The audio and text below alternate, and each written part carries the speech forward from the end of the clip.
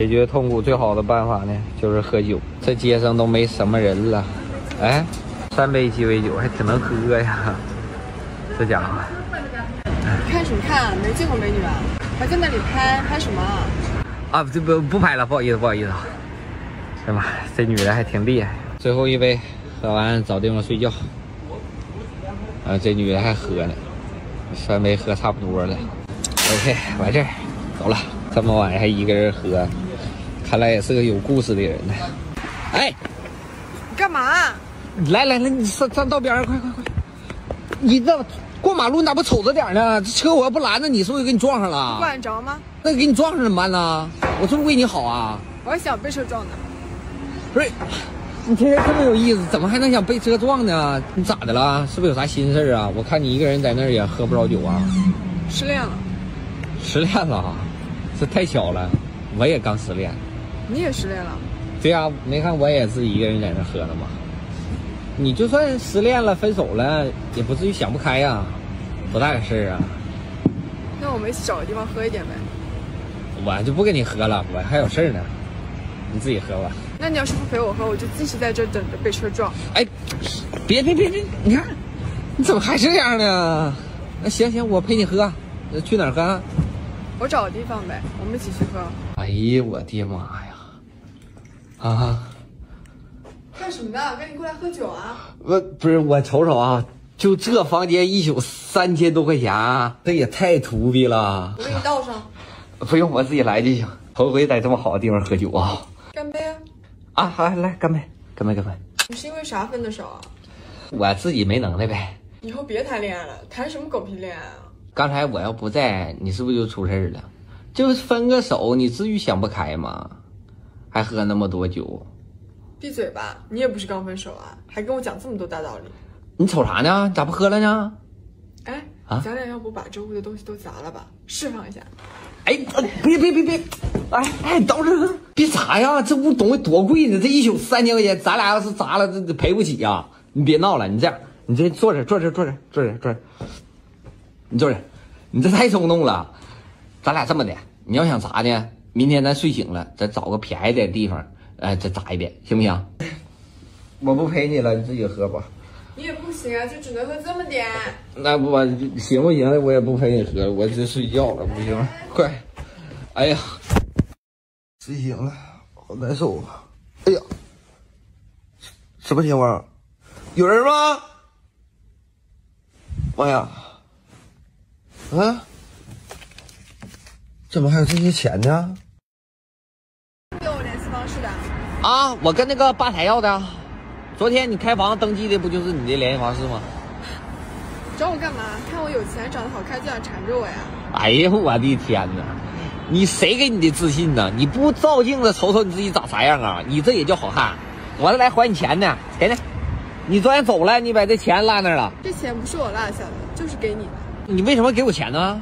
陪我喝酒，的朋友待了一晚上，这钱是你应得的，钱我不要，我走了。不是，哎，小孩，什么叫应得的？我不能拿你钱，来来来，你该揣着。给你，你还蹬鼻子上脸啊？你不要是吧？不要我可扔了。行，那给我吧。对，你揣着，赶紧的。说实话吧，其实我也没什么钱，这钱我刚好交房租了。不是你不有病吗？这人，你没什么钱，你开那么贵的酒店干什么呀？我要不是喝酒冲动了嘛，嗯，想体验一下高级酒店的感觉。那醒来不是就后悔了？那行，以后你自己注意点，省点花。没啥事我就先走了啊。以后咱俩就别联系，你放心，我绝对不会再打扰你。拜拜。等会儿。有啥呀？我一个月工资才五千。昨天开房花了三千，就剩两千了，还要交房租呢。我都饿一天了，都没吃饭呢。你能不能请我吃个饭呀？我请你吃饭？啊，合着我还你两千块钱，我还得搭一顿饭进去呗？你看我这钱包里就四百多块钱。那行吧，我就只能多饿几天了。你这样吧，我给你转一百块钱，啊，你去吃碗面呢，吃碗麻辣烫，剩下囤点泡面啥的，行吗？我真没想到啊！你看着表面光鲜亮丽的，没想到也挺穷啊！你比我还穷呢，我怎么感觉？你再把手机拿出来，我给你扫一百块钱。二维码，收款码啊，收款码，付款，付款一百啊，OK。哎，你转过去了啊。我们留个联系方式呗，我好还你钱啊。嗯，钱我就不要了，咱俩也别留联系方式了，以后咱俩这辈子别见面了，行不行？我走了。行，你不留我也有办法联系你。哎呀，阿珍咋的了？回来了。阿珍没事啊，我要不说她出事，你也不能回来呀。啊，你这不扯淡呢吗？那没事就好，那我先走了。哎，等一会儿，有事儿咋了？？啥事儿？你前天干啥去了？我干啥去了？你没看视频吗？我跟人喝酒去了。俺我搁家还担心你吃不饱穿不暖的呢。你这挺潇洒呀，还跟人家出去开酒店去了。那也不是我花的钱，人家花的钱。再说了，我也喝多了，我也不知道怎么回事了。我想，我想问你，你俩躺一起了吗？我俩躺不躺一起跟你有啥关系呀？有关系，我就想听你亲口说。